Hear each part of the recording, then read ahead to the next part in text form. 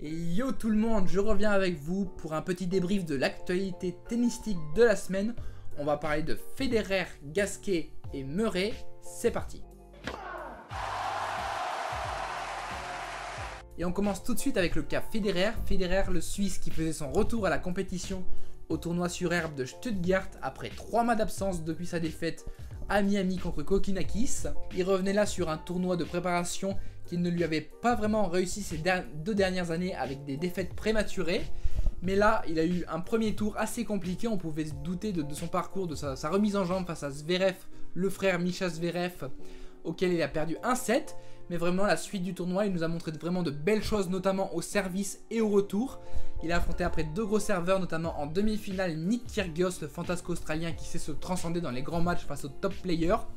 Il a finalement battu au tie-break du troisième set, un, match vraiment au couteau très serré. Ça a été vraiment un bon match. Nick Kyrgios a fait vraiment un très très bon match, notamment au service. Il a été très impressionnant. Mais Federer a eu du répondant en retour de service, comme je l'ai dit. Et en finale, il a eu le droit d'affronter un revenant lui aussi, Milos Raonic, qui n'avait pas joué pratiquement sur terre battue de la saison. Raonic qui a sorti un beau tournoi en ne perdant pas un seul set de, la semaine, avec des belles victoires, notamment face à Berdych en quart de finale et Pouille le français tenant du titre en demi-finale. Mais en finale, vraiment, malgré sa bonne qualité de première balle, il s'est fait breaker dans le premier set, finalement qu'il perd 6-4. Et le deuxième, assez accroché, ça se joue au tie-break mais une double faute dans le tie-break euh, du Canadien va le condamner et Federer finalement va remporter le match 7-3 au tie-break. Ce qui constitue ici pour notre Suisse son 98e titre en carrière. Il se rapproche de la fameuse barre des 100 qu'il pourrait atteindre en cas de victoire à Halle et bien sûr à Wimbledon.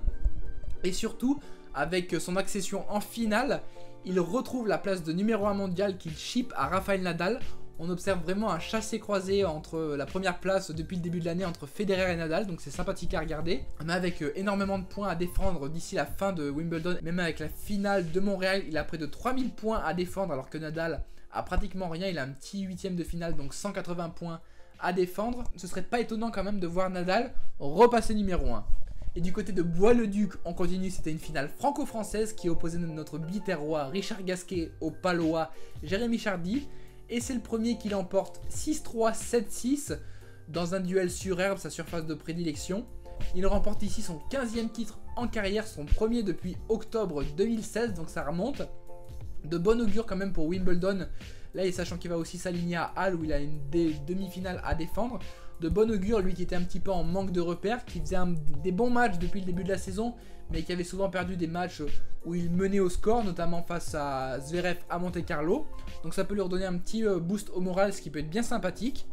Et du côté du Queens, on va voir le retour, le fameux retour tant attendu de Andy Murray, l'Écossais qui n'a pas joué depuis un an et sa défaite en quart de finale du tournoi de Wimbledon. Il a été invité par les organisateurs ici puisqu'il est retombé à la 157e place mondiale, sachant qu'il était leader du classement à la même époque l'an dernier. Donc étant pas de tête de série, il va avoir euh, pas de bail au premier tour, donc va devoir affronter un joueur qui n'est autre que Nick Kyrgios. Donc gros match en perspective, Nick Kyrgios qui sort d'une très belle semaine à Stuttgart. Donc là, ce serait pas étonnant pour un match de reprise que l'Écossais s'incline face à, l'Australien qui, euh, certes, sur, qui sur gazon est vraiment euh, difficilement prenable avec son gros service. Donc ce sera intéressant de voir Murray comment il, comment il bouge physiquement, euh, sachant que pas mal de joueurs ont dit qu'il avait perdu un petit peu de poids et peut-être aussi un petit peu de muscle. Voir s'il a toujours ses qualités de défense et de couverture de terrain. Et on verra également le retour de Novak Djokovic, qui après sa défaite à Roland Garros en quart de finale avait laissé planer le doute quant à sa participation à la saison sur gazon. Finalement, il a reçu une invitation des organisateurs du tournoi londonien et l'a accepté. Donc ce sera intéressant de voir Djokovic comment il évolue sur une surface qui lui réussit plutôt assez bien d'habitude. Il fait pas souvent de tournoi de préparation, mais il a quand même un quart de finale à défendre à Wimbledon. Donc euh, voir s'il a récupéré de ses émotions de, de sa défaite à Roland Garros.